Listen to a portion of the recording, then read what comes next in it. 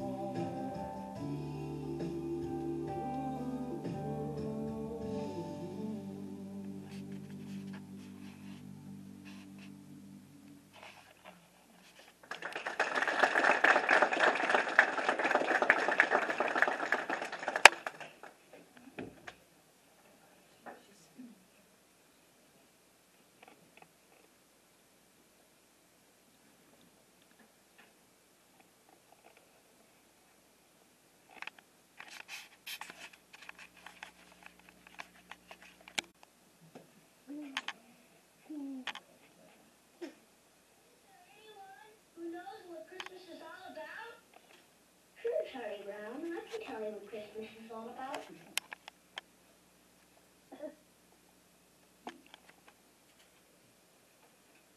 Lights, please. And there were in the same country shepherds, abiding in the field, keeping watch over their flock by night, and lo, the angel of the Lord came upon them. The glory of the Lord shone round about them, and they were sore afraid. And the angel said unto them, Fear not, for behold, I bring you tidings of great joy, which shall be to all people.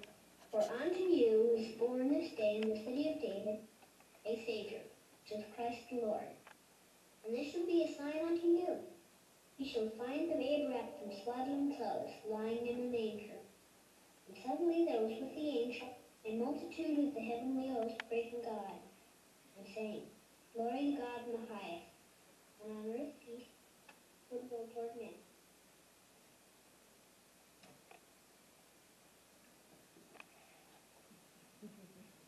That's what Christmas is all about, Charlie Brown.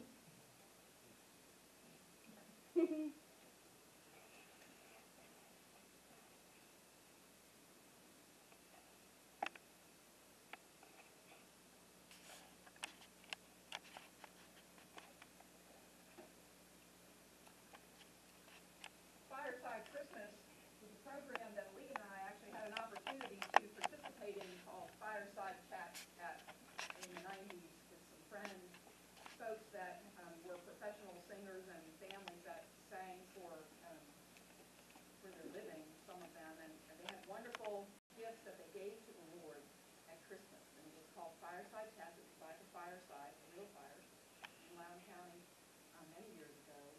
And we adopted it at one of our churches and renamed it a Fireside Christmas, and we added a lot of the other arts as well, um, liturgical sign, communion, singers, actors, leaders. Fireside Christmas has been a wonderful opportunity to share in, with the community, for friends. It's also, um, the main purpose is to honor the Lord with our gifts and, and creativity.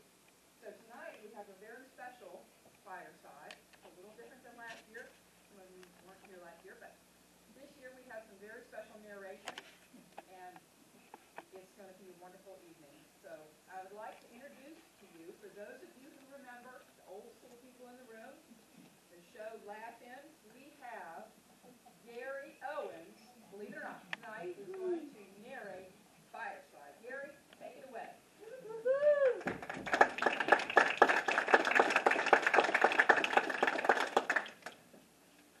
So welcome to Fireside Laughter.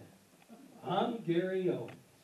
Tonight you're going to be amazed, inspired, laugh, and applaud. Or you might say to yourself, I just wasted an hour of my life. anyway, here are a few unknown facts about Christmas. When Santa was young, he didn't receive any presents.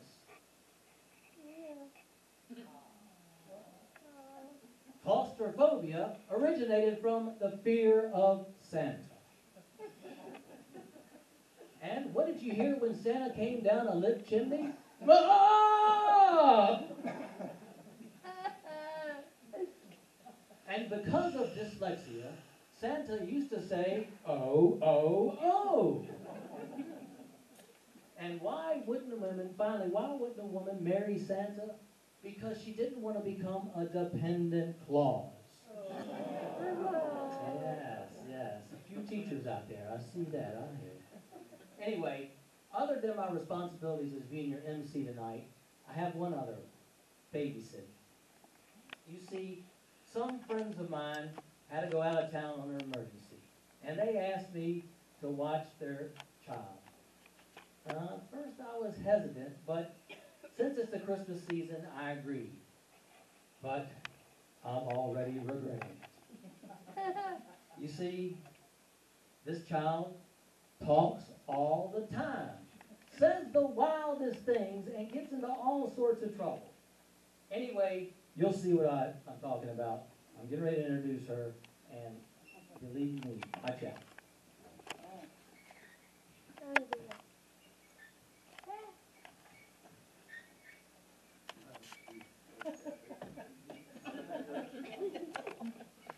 Hi, everybody. My name's Edith Ann, and I'm five and a half years old, and I have a dog named Boston. hey, mister, are these your friends? Yes, Edith Ann, these are my friends. Well, my daddy's a fibber then. That's not a nice thing to say about your daddy. Why would you say such a thing? Well, when Bobby said that she was going to ask you to watch me, well, we have technical difficulties. Please stand by. but, but, let let me say that again. When my mommy said that she was gonna ask you to watch me, daddy said that I was gonna be bored stiff because you have no friends and I would have nobody to talk to. But these are all your friends, right? You Yes. didn't have to pay them? No, Edith Ann, I didn't have to pay them. Yes, these are all my friends, and they're going to be joining us for a Christmas celebration through singing, telling jokes, and readings. So anyway, I would like, uh, I wonder if you could help me, and I'm the announcer, I wonder if you could help me tonight. You think you can do that? Oh, thanks, mister. I'm a good announcer. You want me to use my outdoor voice? You are. No, Edith Ann. I just want you to be a good little girl and say nice things about the act. You think you can do that? Well, I think I can do that. Hey, Mr. Friends, will you help me do that? If you will?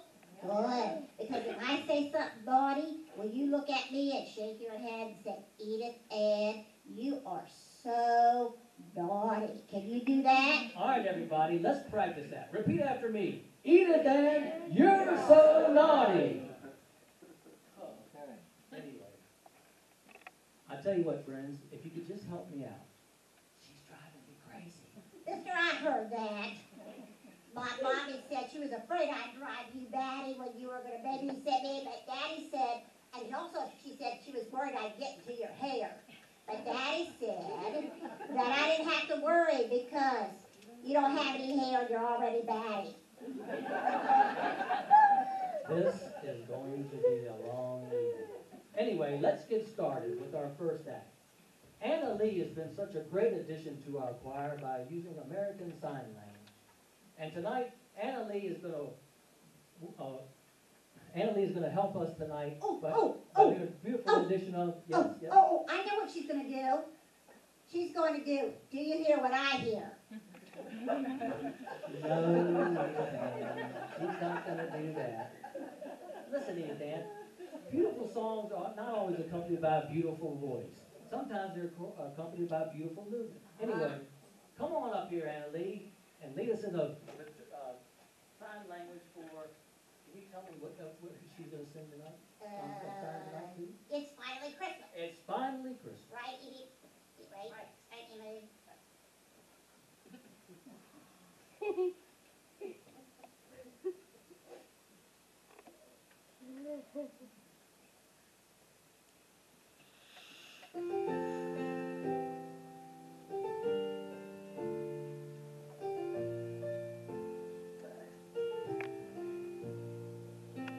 Lights are twinkling down the block, far as the eye can see. And Daddy's on a mission, he's gotta find the perfect tree. The smell of cookies baking, that could only mean one thing, that it's finally Christmas, yeah.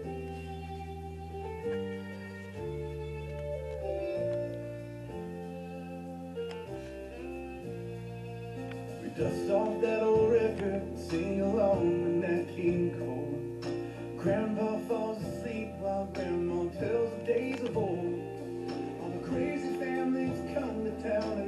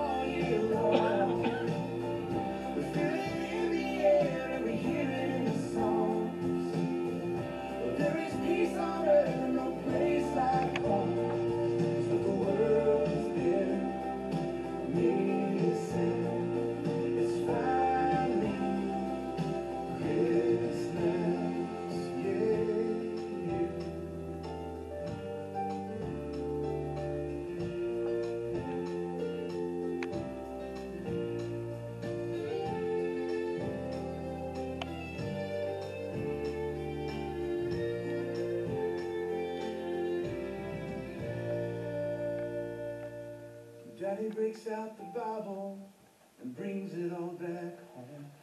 We gather gathered to remember the greatest story ever told. Our Father sent His only Son to be our only hope. But the world's been.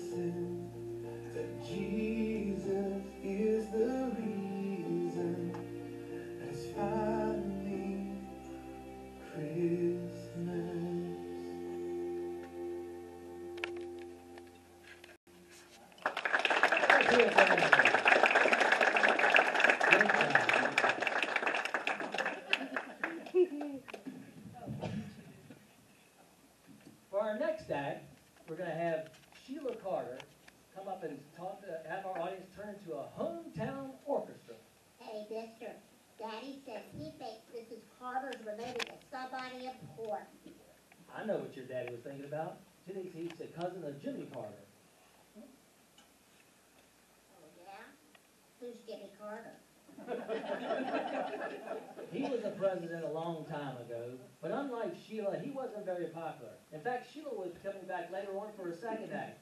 Jimmy wasn't so lucky. anyway, come on up here, Sheila Carter, and lead us in Away in a Manger. Okay. This is for all of you who've always wanted to play in the orchestra, but you never have. So I need for you to fish around under your seats and find your instrument and your mallet.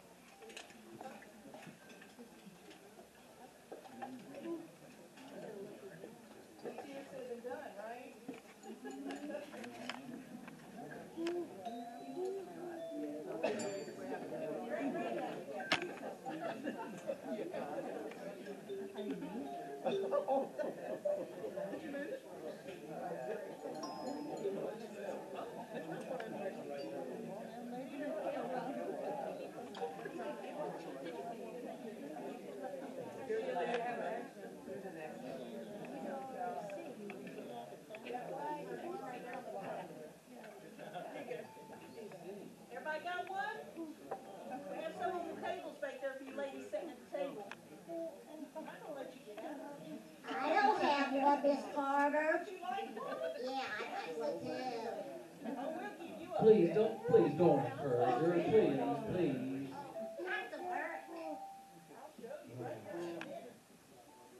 All right, can I get everybody to ring their bell?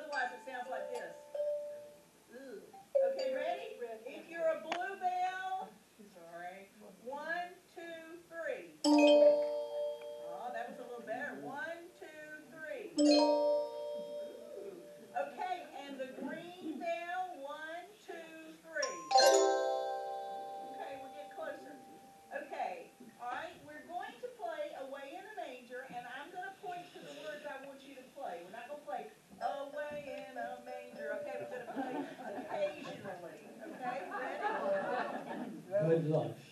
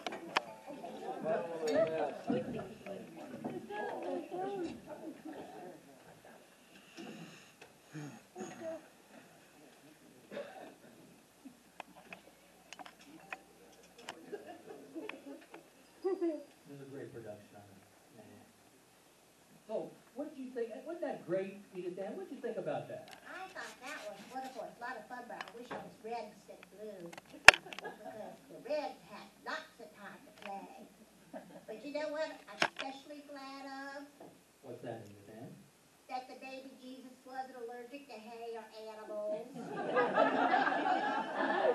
I know, because they didn't have any Benadryl back then, right? Who's Benny Drill? Never mind. Anyway, let's get on to our next fireside. Vic Super is gonna be singing for us tonight. You know, he's just so talented, but, you know, his last name, you know, you wanna say Vic Supper, not Vic Super. Well, my daddy says you can call him anything, just don't call him late for dinner. You know, Ann, it really doesn't matter what you call him. Vic is such so talented. He's gonna sing a song from Elvis Presley. Come on up here, Vic. Come on up here.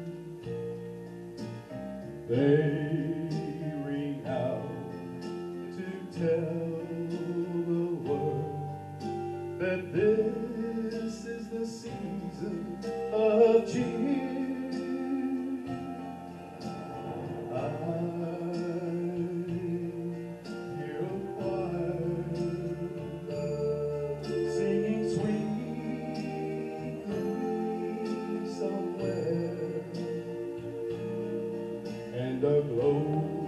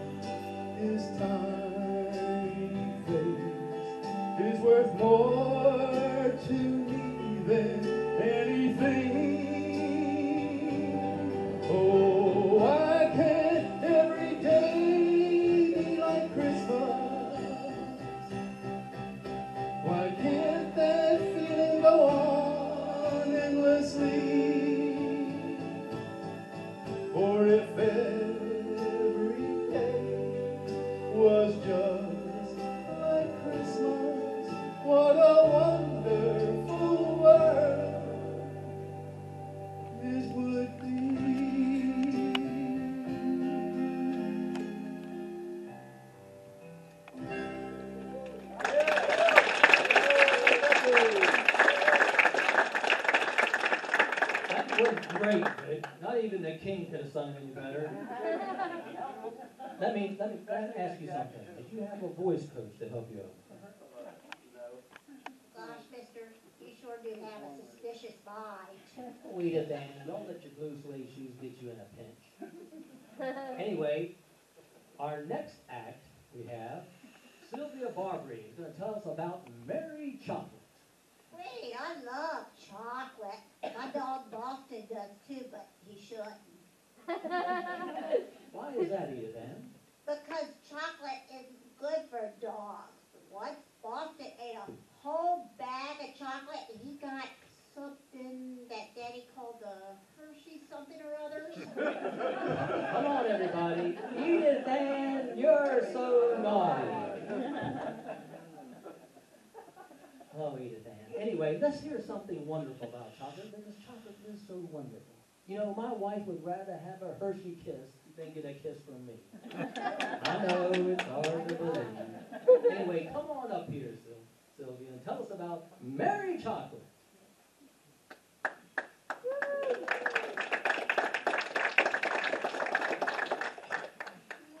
Did you get a new husband? This is Oh, this is the most wonderful time of the year. And Edith Ann, have you been naughty or nice? You guys?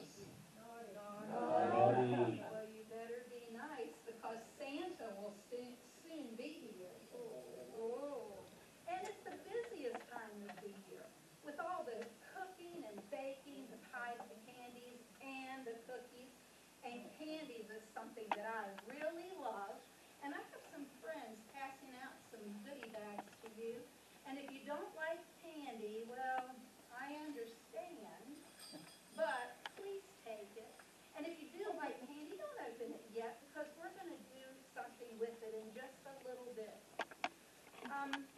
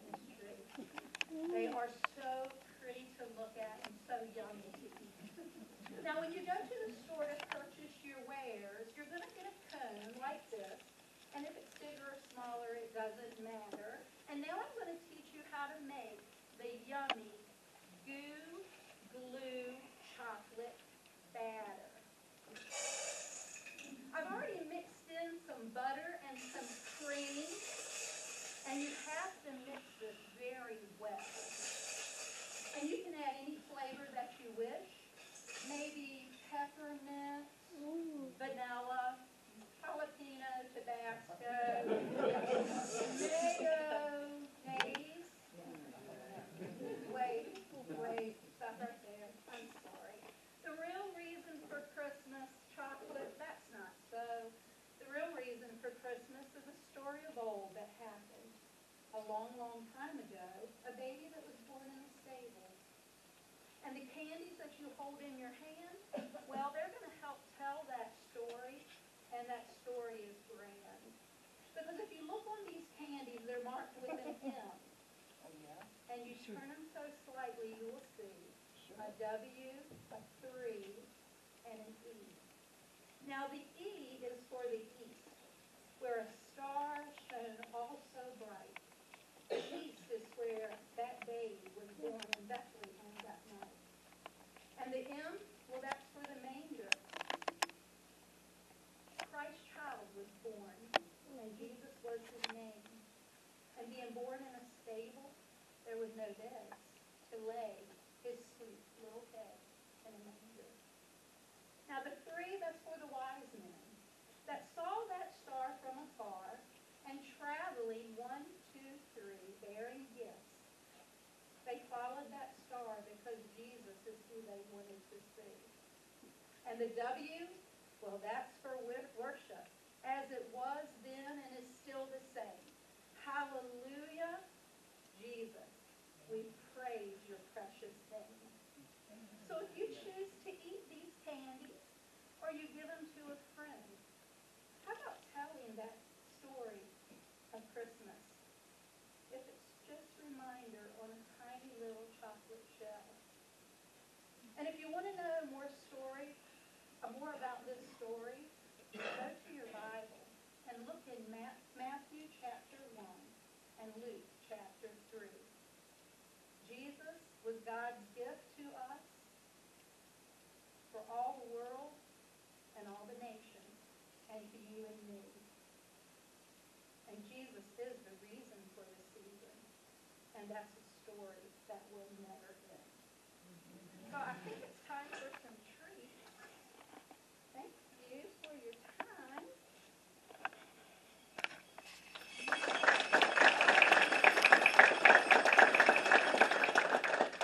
Since I was Santa, I heard him explain that he rode out of sight. And I was naughty. Merry chocolate Christmas to all, and to all a sweet night. Thank you, Sylvia, that was great. By the way, Ann, Uh-oh. What? Am I in trouble? no, you're not in trouble. Answer this. Do you know why the M&Ms ran away from the other candy? They were trying to get to the Milky Way. No, they ran away because they were TNTs. Oh, that was bad. I appreciate that, Edith Ann. Anyway, for our next act, we're gonna bring some laughter to this laughing Christmas celebration. Come on up here, Eric Kramer. He is our king of comedy tonight. Come on up here.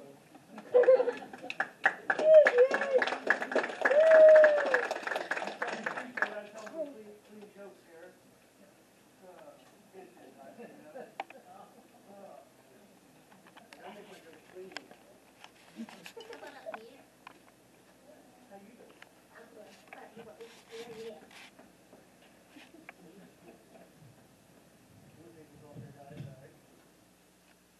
How's everybody out there doing tonight? Great, That's good. All right, a little nervous here, my heart pounding on my chest like that, but it was, I we know did the- CPR. Nice, not jumping down on the chest, jumping down. Well, anyway, um, Vic came up to me last Sunday. Like, Boy, you're weird. You know what I mean? I, I'm proud to weird because my mom and my dad are weird. Growing up, man, my dad would dress up like my mom, and my mom would dress up like my dad. Man, what a drag. Well, anyway, I lived in the hood almost all my life.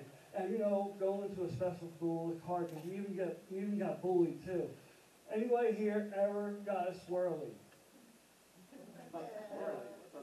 When the bully dips your head in the toilet and that blue stuff comes out and you look like Papa Smurf. hey, I, honest truth, I was dangling from the flagpole for two hours till the maintenance man found me. Hey, it's true story. Tell you.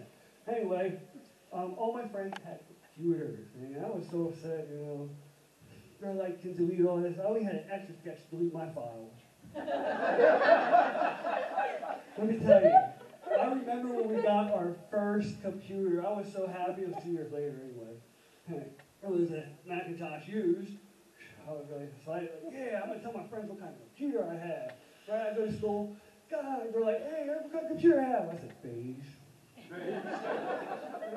It's, it's hard. My, I don't like talking about people, especially my parents. I love my parents. But my parents are hippies. They are old. I'm really being honest. My mom is old. I told her one time, do you know who Boy George is? She said, yes, he cut down the cherry tree. We're a culture club. I tell you, my dad's old too. I love him too, man. He's Mr. Christmas. I swear to you, he's so old that he celebrated Christmas down the street from the Wiseman. You know? That's true, you know. Um, see, I have any more? I don't think I have any more. It's a little short one here, guys. So, hope you like it. I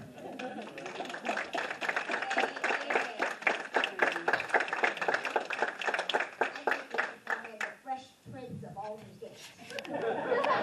Absolutely, man. That was not naughty, I'm proud of you. Mister? Anyway, you know, that's getting me into the Christmas spirit, is that? I just love Christmas. Don't you love Christmas? I do, but Daddy doesn't. Why is that, Edith Ann? Well, Daddy told me that he buys all my Christmas presents and he gives them to Santa on Christmas Eve to put under the tree. And he's really tired of that fat man in a red suit getting all the credit for his hard-earned money. You know, Edith Ann, your dad sounds a little grouchy and a little stingy, too. My mommy says Daddy is way too stingy. She got mad at him right before I came to stay with you. Now, why would she get mad at him, Edith Ann? Well, Mommy said that Daddy crossed the line when he went out in the backyard and shot a shotgun up the air. Really? Why, why would he do that? Because he came in and he told me that a hunter was shooting at Santa's reindeer and he missed and wounded Santa and now we have to wait till July when he got his annual bonus.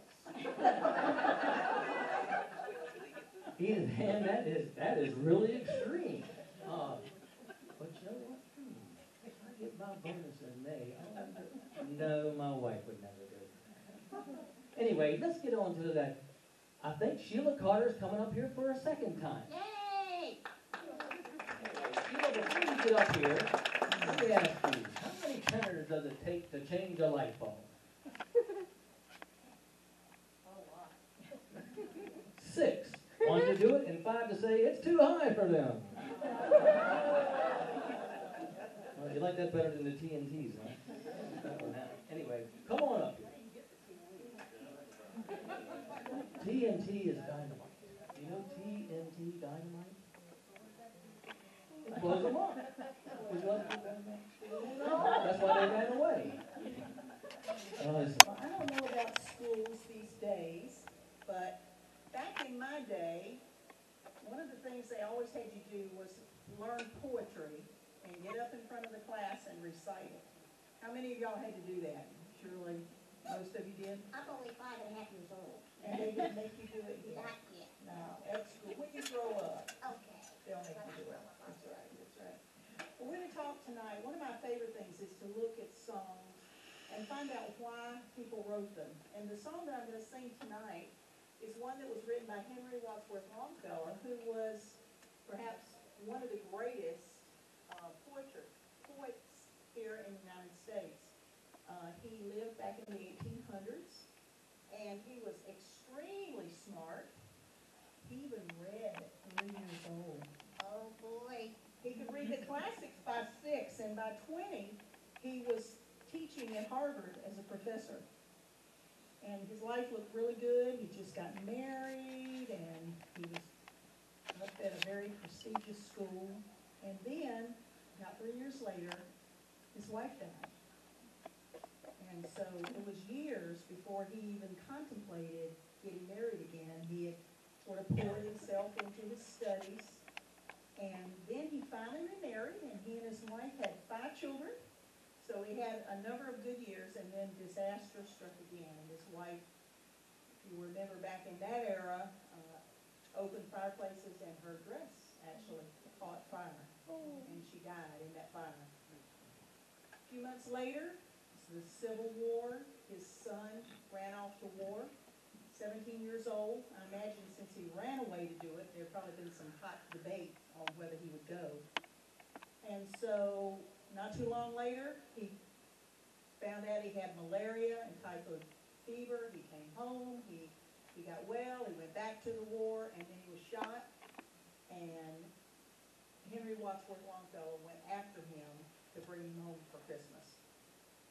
And no one really knows why he chose to write this particular song, but some people have suspected that maybe he heard the bells on Christmas Day, and he was thinking about his life and how things weren't all that great, and his son was injured and might not survive. And he wrote these words, and I think today they're just as um, relevant today as they were then. Our world's in a, in a, in a rough place. We're, we're in a mess. There's wars and rumors of wars and all that all around us.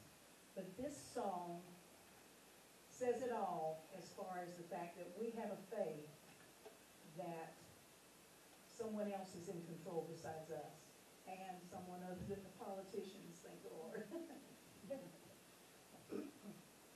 I heard the bells on Christmas Day, their old familiar carols play, and wild and sweet the words repeat of peace on earth, goodwill to men.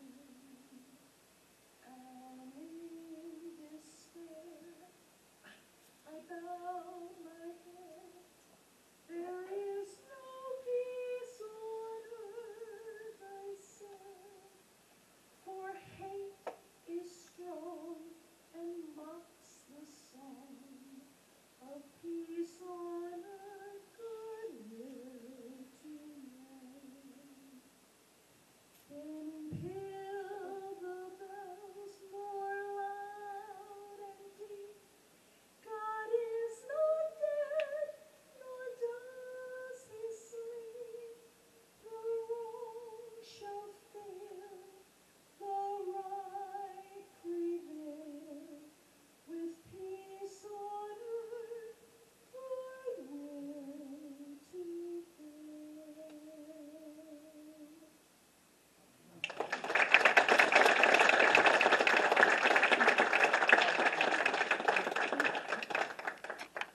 Thank you, Sheila, that was wonderful.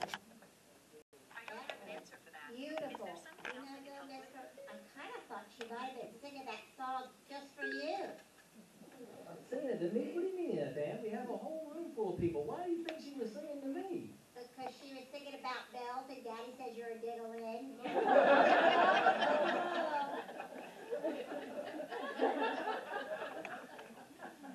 Oh. Come on, help me out. You're so. I'm supposed to clap now, come on. Anyway, it seems like this, this program now is going to the dogs. But it's Christmas, and all of God's creatures are celebrating like the one in this video. Let's watch this. Hmm.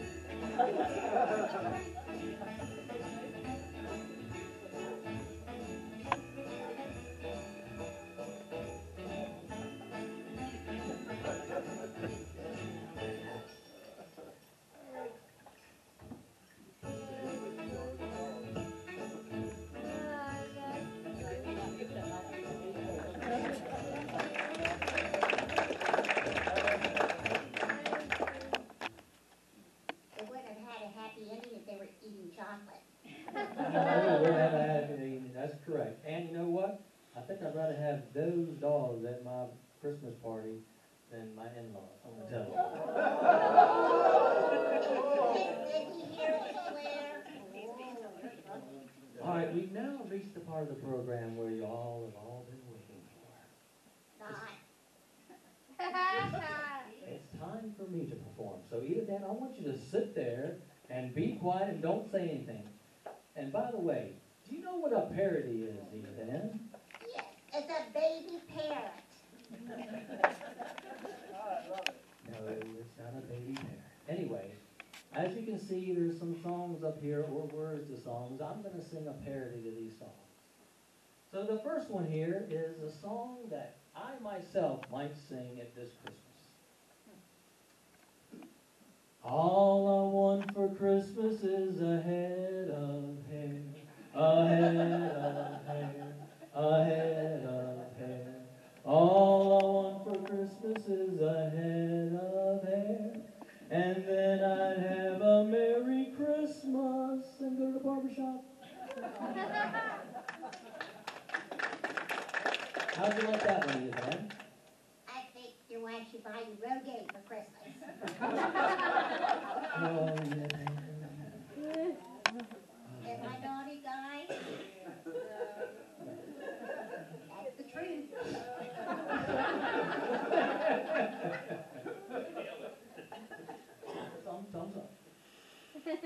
So for our next song, you know, we've all waited sometimes for the last minute to go Christmas shopping.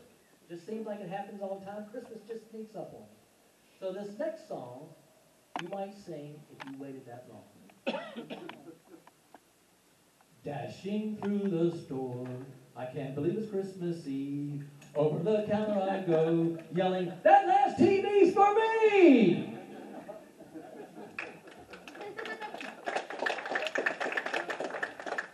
Edith Ann, what did you think about that? I'm definitely not interested in the rerun.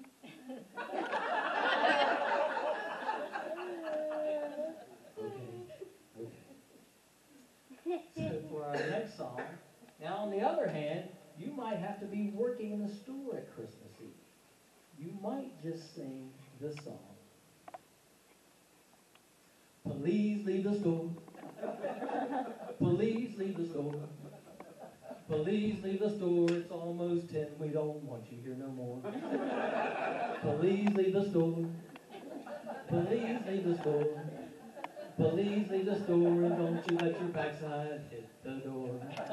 We want to wish you a Merry Christmas. We want to wish you a Merry Christmas. We want to wish you a Merry Christmas from the bottom of our heart.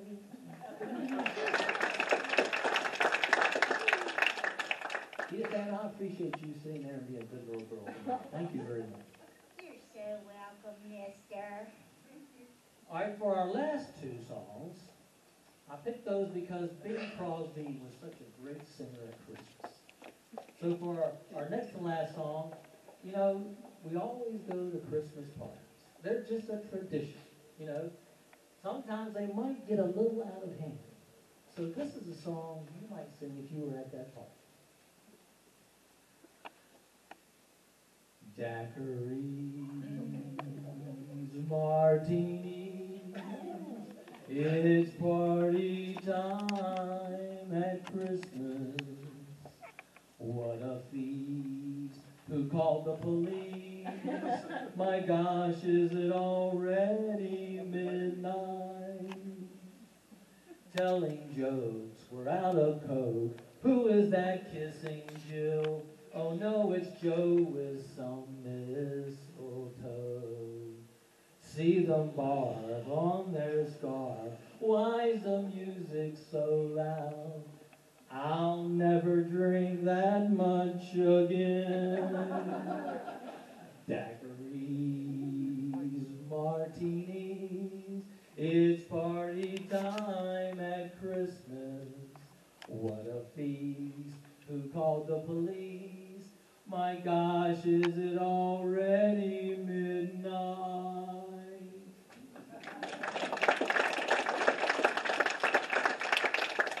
So, Edith Ann, what'd you think about that? Mister, you are so naughty. Now I'm worried about what you might have put in my juice box. You know what, Edith Ann, thinking back about that, I wish I'd have put something in her juice box earlier, so she'd be asleep by now. All right, for the last song, you know, all this whole past year has been nothing but politics, politics, politics. If we don't see it on the TV, we read it in the paper, we see it on social media. So this next song is a song that the Democrats in Washington just might sing this Christmas. I'm dreaming of impeachment, just like the one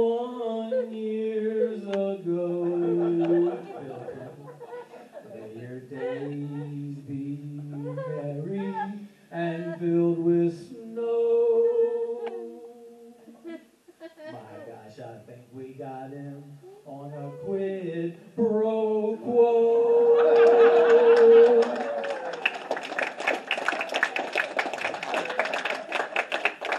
So, Edith Ann, what do you think about that one? Well, let's you in verbs. First it was a baby parrot, then it was a quid pro quo. All in all, I think your performance was for the verbs. Is that the truth? Oh, Edith Ann, you're such, uh, you are so naughty, but that's okay. Anyway, for our next act, we're gonna. Edith Ann, do you smell something funny? Yeah, I do. Check the bottom of your shoes, mister. Oh, good.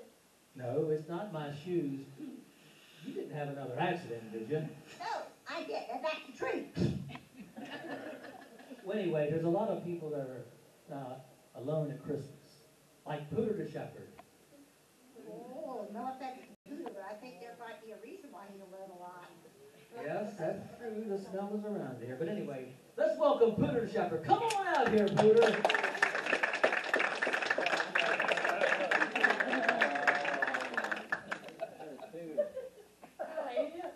Uh, hi, Peter.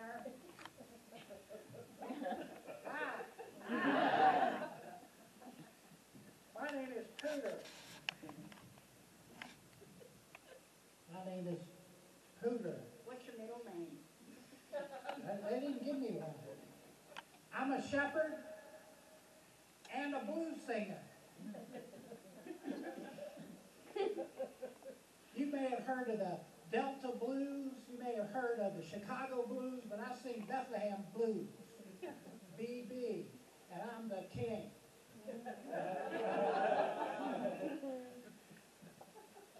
So, I wrote this blues song for Christmas.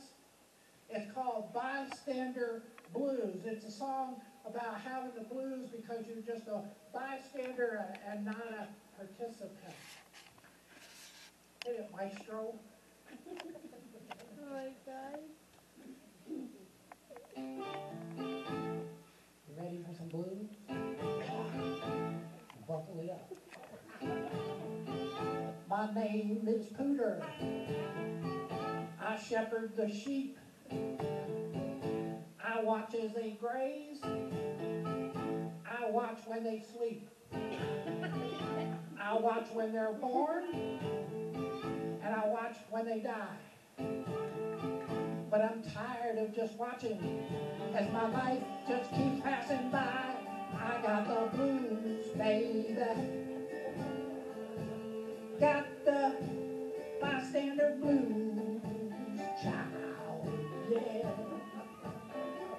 There's got to be more to life, cause this ain't no paradise. Bystander blues. You know what I'm saying there, Chunk? One night while on duty, an angel did appear. He spoke of a Savior who was born very near. So they all went to see him. With the sheep. They came back with joy, but all I could do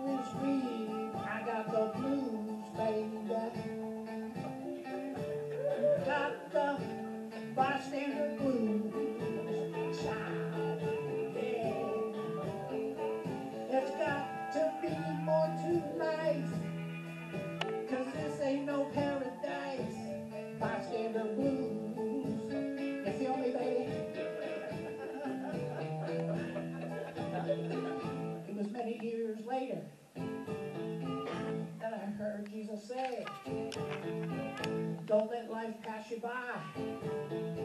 I'm the life and the way.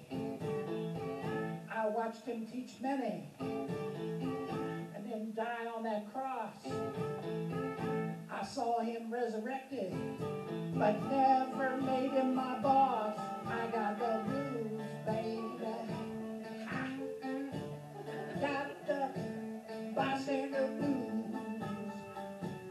Yes, I do. I just left him on a shelf. And I pursued him for myself. by Bystander blues.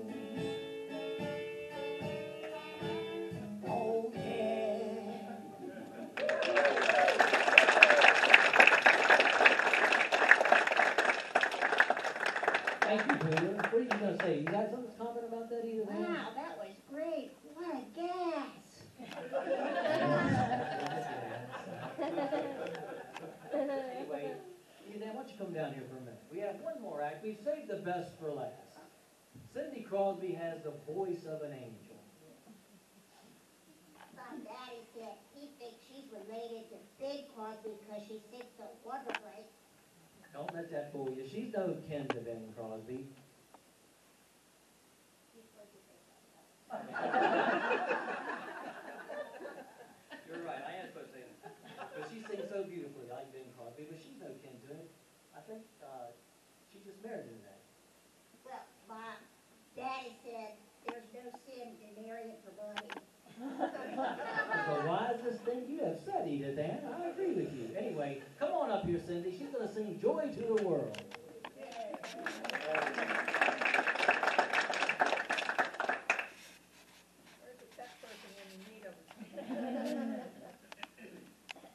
You need to multitask.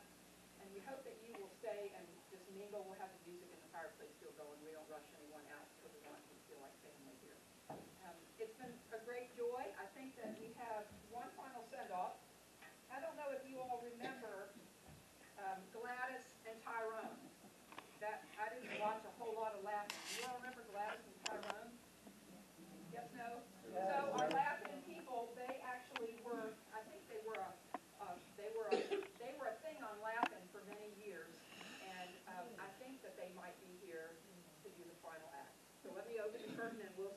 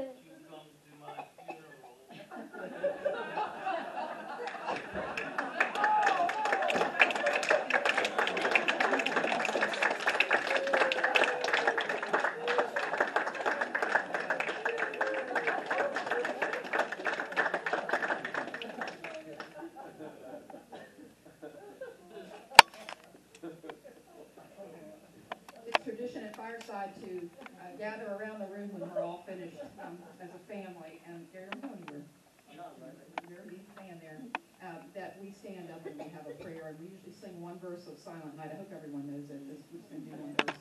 But before we did, before we do that, you can begin standing up if you like. And kind of, we're going to try to make a circle. I think there's enough of us here. Um, this was a very special fireside, and two people worked very hard on it. And I'd like to thank them.